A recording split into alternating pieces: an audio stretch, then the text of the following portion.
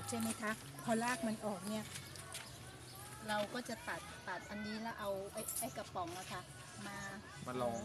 มาลองตัดเช้าตัดเย็นน้ำมันก็จะหยดหยดหยดอย่างน้ำหวานเหรอ อาจารย์ค่ะ น้ำหวานของอ้อยมันจะหยดหยดไม่เป็นเพไรราะว่าไม่รากเป็นไรหรอกต้นมันก็สูงไปเรื่อยๆ เพราะเพราะมันออกรากนี้ใช่ไหมคะตัดจนถึงตรงเนี้ยแล้วเราก็จะได้ต้นต้นใหม่ต้นพระรากมันออกนี้ โอ้ยอย่างนี้เอามันสำปะหลังมาปลูกได้ไหมแล้วจะได้เด็ดหัวมันได้หนูก็ไม่ทราบค่ะอาจารย์ลองนะเอ็ม เด็ดหัวมันเลย อันนี้คือเอาน้ำมันเหรอคะน้ำหวานรือเดี๋ยวมันแยกใช่เย็น้ำหวานแล้วเอาน้ำหวานไปทำอะไร ตัดเอาน้ำหวานมันก็แล้วแต่เราจะเอามากินก็ได้ค่ะแต่มันเป็นำหวามัน จะหยดหยดน้ำหวานออกมันเป็นลักษณะยังไงน้ำหวานมันใสไหม เหมือนหีบมาไหม เคยเห็นไหม หนูไม่เคยเห็นตอนที่อาจารย์เขาตัดนะคะ เนี่ยเป็นรอยอาจารย์เขาจะแล้วคราวนี้พอพอตัดไปหมดแล้วทำไงอะ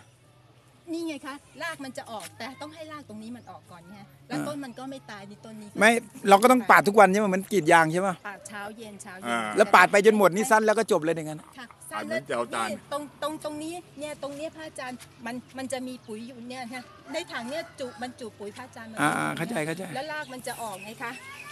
เสร็จแล้วต้นอันนี้เราก็ไปปลูกต่ออีกได้อย่างนี้ค่ะอ๋อเพราะว่ารากมันก็ออกขึ้น ต้องให้ต้องให้อา จารย์เป็นคนบรรยายเองอาจารย์หันหน้าไปทางทิศตะวันออกอะอ๋อสี่ห้าองศาไปทางทิศตะวันออก มันจะได้ต้นไม่สูง ค่ะ